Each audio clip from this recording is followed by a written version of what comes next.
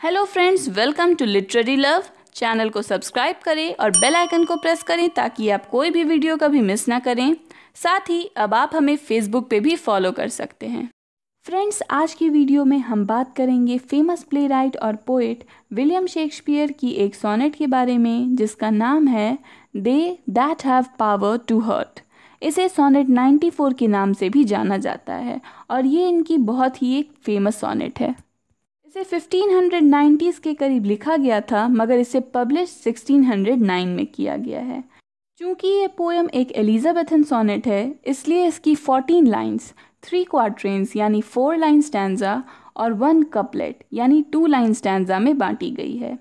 साथ ही इसकी rhyming scheme है A B A B C D C D E F E F G G friends इस poem की theme है behaviour यानी कैसे आपका जो बिहेवियर है, अपने इक्वल्स या अपने इन्फीरियर्स के तरफ़, वो आपकी पर्सनालिटी को डिसाइड करता है.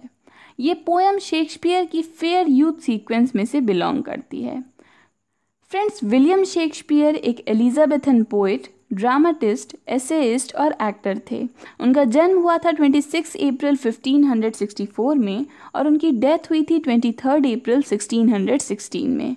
अपनी पूरी लाइफ टाइम में उन्होंने 37 प्लेज और 154 सोनेट्स लिखे हैं और उनके प्लेज और सोनेट्स आज भी उतने फ्रेश हैं, उतने ही पॉपुलर हैं और इसीलिए वो बहुत सारे कॉलेजेस और स्कूल्स में पढ़ाए जाते हैं। तो चलिए फ्रेंड्स अब इस पोएम पर आते हैं और इसे रीड करके समझने की कोशिश करते हैं। They that have power to hurt and will do none यानी वो लोग जिनके पास इतनी ताकत है कि वो दूसरों को हर्ट कर सकते हैं, उन्हें चोट पहुँचा सकते हैं, लेकिन वो ऐसा नहीं करेंगे। विल डू नन यानी वो अपनी ताकत का इस्तेमाल कर दूसरों को चोट नहीं पहुंचाते हैं।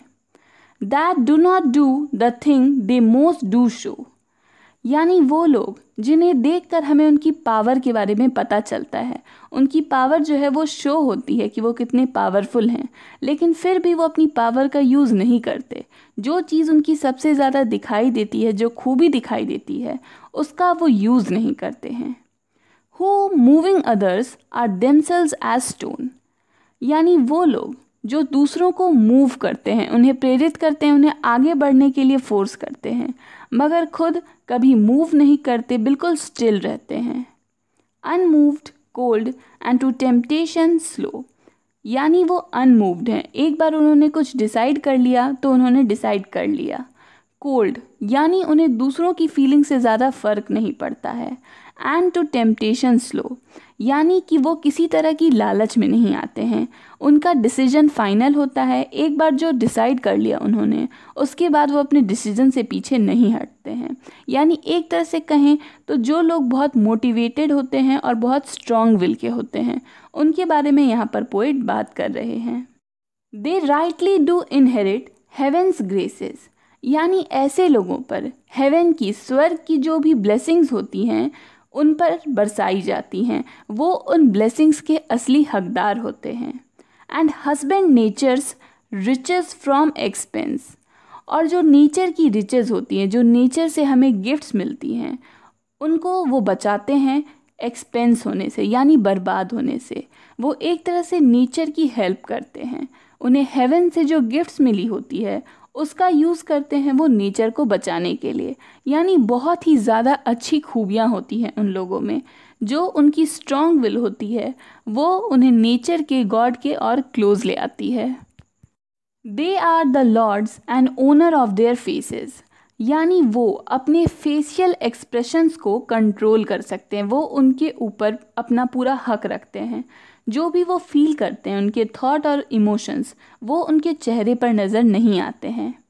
Others but stewards of their excellence जबकि बाकी सभी जो लोग होते हैं, जिनमें ये स्ट्रॉन्ग विल की क्वालिटी नहीं होती है, वो बस अपने इमोशंस को अपने चेहरों पर दिखा देते हैं। बस सर्व करते हैं अपने इमोशंस को। कोई भी उनके इमोशंस को उनके चेहरे से पढ़कर समझ सकता है। अब फ्रेंड्स यहाँ इस नेक्स्ट स्टैंडा में पोएट एक तरह से चेंज हो रहे हैं। एक स्ट्रॉन्ग विल्ड पर्सन से वो एक फ्लावर के एक्सपीरियंस को बता रहे हैं। The summer's flower is to the summer sweet यानी गर्मी के मौसम में खिलने वाला फूल। वो बहुत ही स्वीट होता है गर्मी के मौसम के लिए, बड़ा पसंद करता है। Though to itself it only live and die जबकि जो फ्लावर होता है वो अपने बारे में सिर्फ़ इतना ही सोचता है कि उसे अपनी ज़िंदगी जीनी है और फिर मर जाना है। उसे अपनी क्वालिटीज़ के बारे में, अपनी खूबियों के बारे में कोई इंटरेस्ट नहीं होता।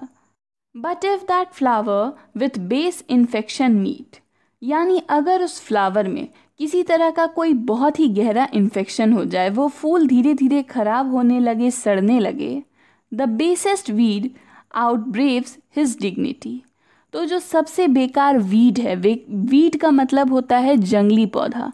तो जो सबसे बेकार जंगली पौधा होता है, वो भी उस फ्लावर से ज़्यादा खूबसूरत लगता है, उसकी डिग्निटी ज़्यादा होती है, उसकी इज़्ज़त ज़्यादा होती है, क्योंकि किसी को भी एक खराब सड़ता हुआ फूल पसंद नहीं आएगा।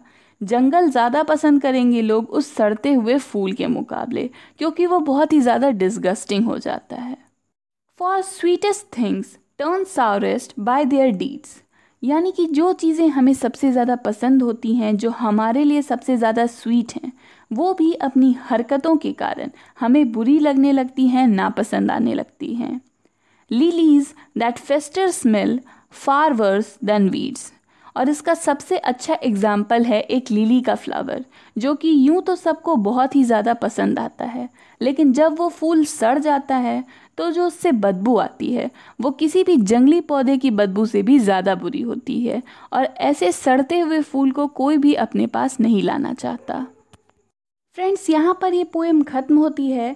पोएम में पोइट ने एक बहुत ही सिंपल बात को एक्सप्लेन किया है कि आपको लोग पसंद तभी करेंगे अगर आपका बिहेवियर अच्छा होगा। अगर आप दूसरों को एक गलत तरीके से ट्रीट करेंगे तो वो आपसे दूर रहना चाहेंगे। चाहे आप में कितनी ही और अच्छी क्वालिटीज़ क्यों ना हो, लेकिन आपका बिहेवियर आपकी सभी क्वालिटीज़ को डिसाइड करता है। तो फ्रेंड्स ये थी विलियम शेक्सपियर की sonnet they that have power to hurt